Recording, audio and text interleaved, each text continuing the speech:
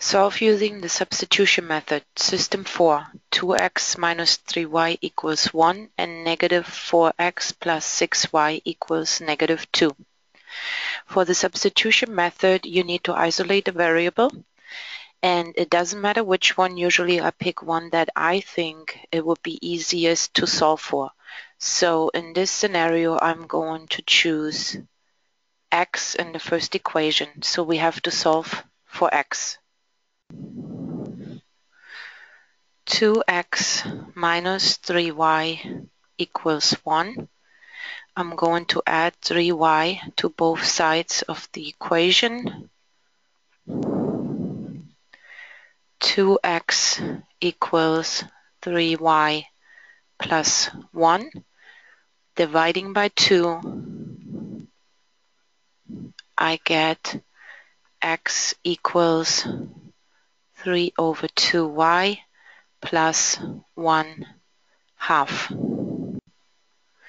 Now I'm going to take this expression for x and plug it into the second equation for the x variable. Negative 4 open parentheses 3 over 2y plus 1 half this is what I substituted in for x. And then plus 6y equals negative 2. Now using distributive property. So negative 4 times 3 over 2 gives me negative 12 over 2 and negative 12 over 2 is the same as negative 6y. Negative 4 times 1 half is negative 4 over 2, which can be reduced to negative 2. Plus 6y equals negative 2. Combining like terms, Negative 6y plus 6y gives me 0.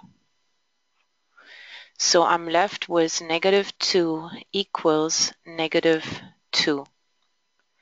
This is a true statement, which means my solution would be infinitely many solutions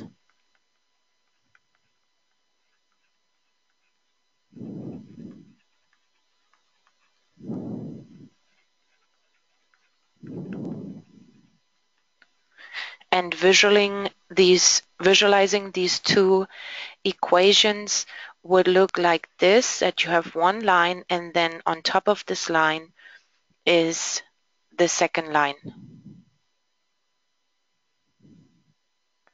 So every point from the first equation is also a solution of the second equation. Whenever you get an answer without variables that is a true statement, the solution is infinitely many solutions.